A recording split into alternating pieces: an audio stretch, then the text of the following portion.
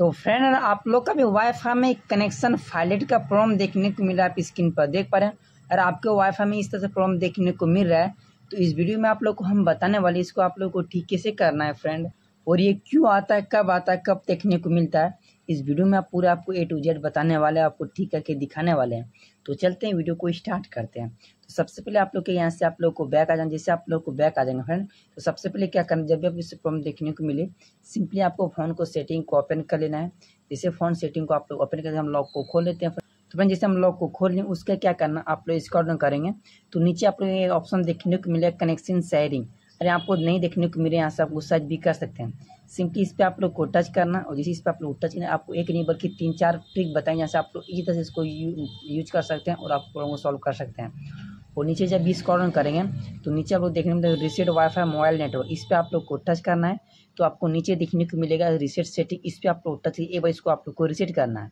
तो यहाँ आपको वाईफाई मोबाइल नेटवर्क रिसेट करने के बाद यहाँ से आप लोग को बैक आ जाना है। जिससे आप लोग बैक आ जाएँगे आपका जो वाईफाई है सिम इसको आपको लॉन्ग प्रेस करके रखना है और नीचे आपको देखने को मिला आपको एडिशनल सेटिंग तो सिंपली इस पर आप लोग को टच करना जिस आप लोग टच करेंगे दो नंबर सेशन पे आप लोग को देखने को मिल रहा है मैनेज सेव नेटवर्क इस पर आप लोग को टच करना है जिसे इस पर आप लोग टच करेंगे आप लोग जितनी सारे नेटवर्क से कनेक्ट किए हैं तो दोस्तों एक बार तो उसको यहाँ से आप लोग को फॉरगेट करना है आपकी स्क्रीन पर बारीकी से दोस्तों आप लोग इसे सिलेक्ट करके एक साथ सबको यहाँ से दोस्तों आप लोग को डिलीट कर देना है जैसे आप लोग यहाँ सबको आप लोग डिलीट कर देंगे तो आपने इस इंटरफेस आ जाएगा इसके बाद यहाँ से फिर से आप लोग को बैक आ जाना है जिससे आप लोग को बैक आ जाएँगे फिर से आप लोग को फ़ोन को सेटिंग को आप लोग को ओपन कर लेना है जैसे फ़ोन सेटिंग को ओपन करें तो आपने इस इंटरफेस आ जाएगा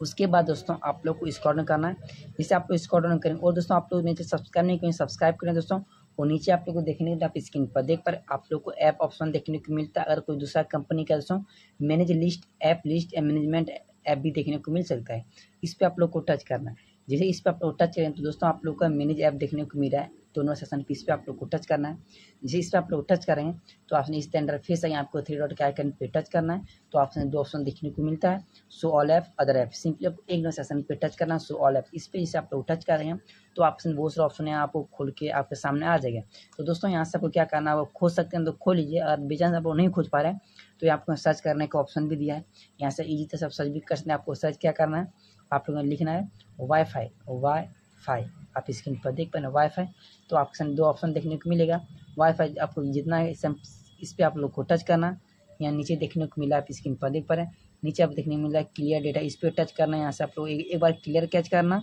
और एक बार दोस्तों आपको ऑल डेटा करना है। इसी तरह दोस्तों आपको स्टोरेज सेक्शन पे आना है और इसको भी यहाँ से दोस्तों आपको क्लियर कैच करना है क्लियर ऑल डेटा करना है। इतना करने के बाद दोस्तों, एक बार दोस्तों आपको फ़ोन को दोस्तों फिर से यहाँ बैक आएँगे। इसको उसी तरफ़ कर देना है। इतना करने के बाद फिर एक बार क्या करना आपको फ़ोन को दोस्तों आपको स्विच ऑफ़ करना और स्विच ऑन करना। इतना करेंगे दोस्तों, आपका hundred ten percent problem solve हो जाएगा और आपको कोई प्रॉब्लम देखने को नहीं मिलेगा। तो फ्रेंड आई होप हेल्पफुल होगा। तो मैं सब्सक्राइब करें वीडियो को लाइक कर दे फ्रेंड